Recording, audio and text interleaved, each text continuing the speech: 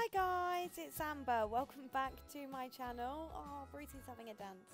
Um, so things are a little bit different today and this is the first of my Christmas content. So today I thought I'd take you with us, we would decorate our Christmas tree and you can see just how we do it. We do not by any means have the most Instagrammable Christmas tree in the world. We just kind of throw everything on, do what we like, because I can't be bothered to be quite frank. Um, our tree, so that is a couple of years old now. We bought our tree, I think, from B&Q. Um, it's not massive, but neither is our house, but it's perfect for us. We struggle to find anywhere to put it, so it lives in our dining room. Our house is open plan, so we can see it everywhere, and we just kind of throw everything on it and crack on with it. We had over the week gone to places like Baytree Garden Centre and we had collected so many new baubles we decided to add a bit of blue to our usual white and silver. If it was up to Marco, it would be red, green, silver, blue, yellow, all the colours in the world. He loves the tack. We would have paper chains over the ceiling, everything. So I did have to put my foot down a little bit with that. We then got this candy cane. We got it in Van Hage. It's quite a big candy cane, but I loved it. It was really, really cute. We did have a bit of a nightmare trying to place it on the tree.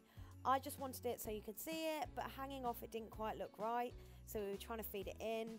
In the end, I got a bit fed up, gave up, and came back to it later.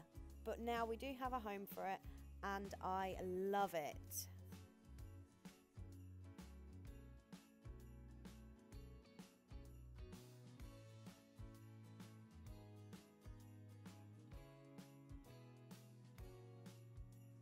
Whenever it comes to decorating our tree, I always find that we find boxes upon boxes upon boxes of Christmas decorations in the garage. This year I have ended up doubling up on baubles because I've gone into shops and bought the exact same ones that I bought last year, forgetting that I'd bought them. You might be able to see the little bow just above my head. I bought them from a small company on Instagram called House of Sew Glam I think their books might be closed for this year, but I did buy them last year. They do sell things like cushions, so if you definitely want to check them out, then I'll tag them down below.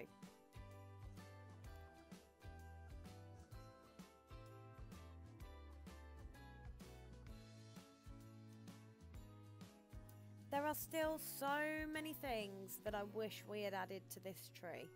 I am absolutely adoring the feather boa trend at the moment. However, I couldn't find any in any actual shops. I was a bit apprehensive about ordering online as I didn't want them to turn up and A be about three millimeters thick, but also not very good quality. So I was a bit panicky about doing that. So that might be something that I'm really late to the party with and do next year.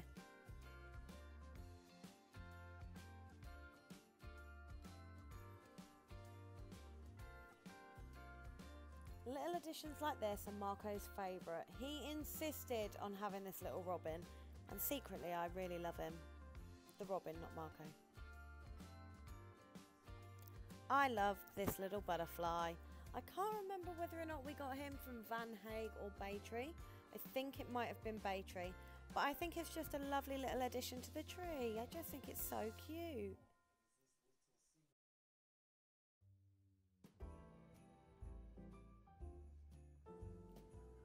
So it was here that the candy cane came back, but it didn't stay there for very long. Keep your eyes peeled, it's going to move again. Oh, and look at that, just like that, it's playing musical chairs.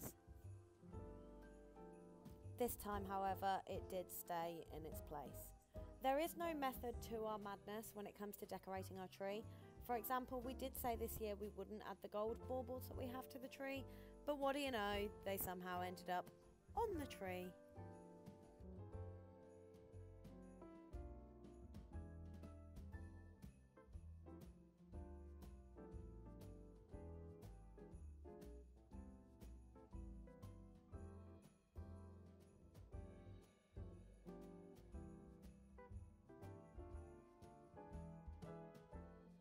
This bauble is one of my favourites. It's our first Christmas as Mr. and Mrs. Izzo 2018.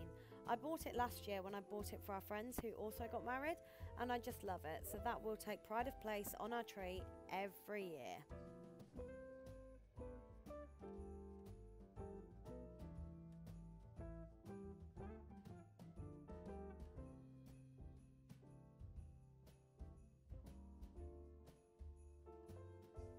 Now, as you can see, our lovely Labrador Bruce loves getting involved in decorating the Christmas tree. Anything sparkly, like the baubles and the lights, he loves, and he would just come over and smell them. And if ever I was dancing to a Christmas song, you can guarantee he would jump up and want to dance. Tila, our German Shepherd, wasn't too interested. However, don't worry, towards the end, she loved it. She seems to get confused between baubles and tennis balls and loves to try and take them off or just whack them off with her tail. She's not a problematic dog at all.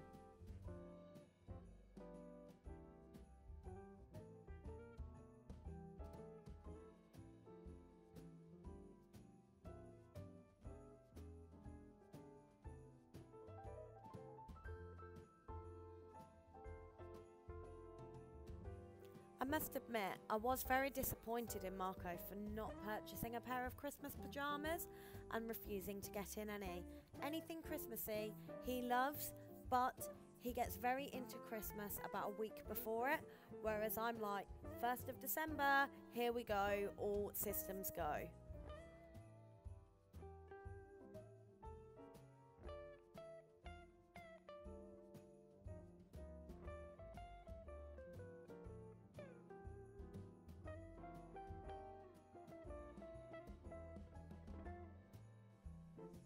So here she is in all her glory. I will admit, I did spray an awful lot of snow spray onto the tree. I really like these flock Christmas trees, but we don't have one, and really, we're not in a position to go buying brand new Christmas trees this year. So I did spray it all over the tree, and I really, really like this effect. I did forget to film that though.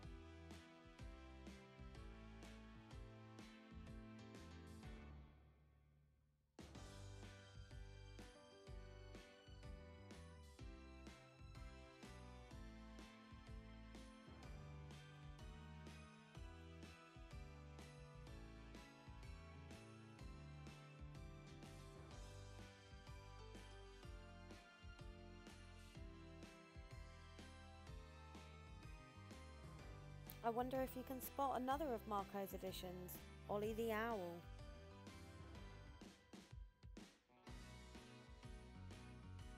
And this is the matching lollipop to the candy cane. I absolutely love this. I think it's so cool, so quirky, and it will last for years. So I'm buzzing about that. Really, really like this tree this year. Everything is just so glittery, some really cool little additions. I love it.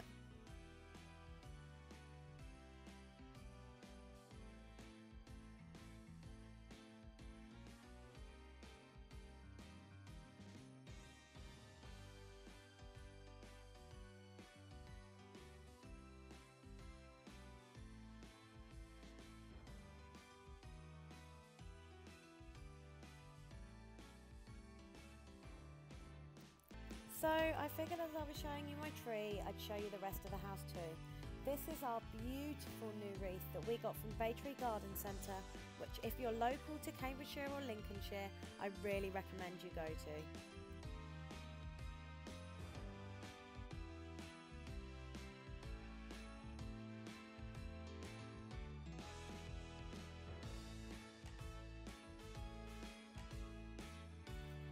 These lovely little shelves I bought from Wayfair about a year ago. I absolutely love them and they are so perfect for the tiny little Christmas editions like this snow globe. And is it even Christmas if you don't have a Christmassy Yankee candle? we have so many of the Christmas candles, wax melts, you name it. My house is a Yankee Christmas heaven. Now this is my beautiful garland covered in snow and berries that was only $16.99 from B&M. What a bargain. You cannot go wrong.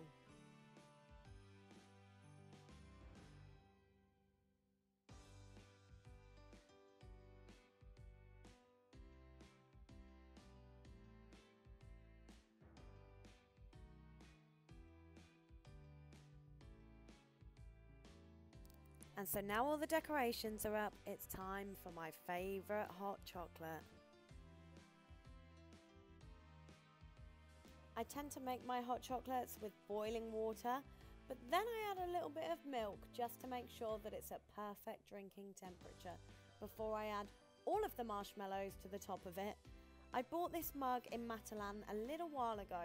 I got a bit excited for Christmas a bit too early. I think I bought it in about October and had a day when Marco was away and I just sat and watched so many Christmas films because why not? So that's what I intend to do for the rest of today as well. Now, I wasn't lying when I said that our house was a Yankee Candle heaven. This is a balsam fir candle which Marco picked and it is beautiful. It smells just like Christmas trees. Okay, so that is it from me. So thank you so much for watching. Make sure that you subscribe to my channel and that you're following me on Instagram. I have so much Christmassy content lined up for you throughout December, so do make sure that you're following and subscribing. Thank you. See you soon. Bye.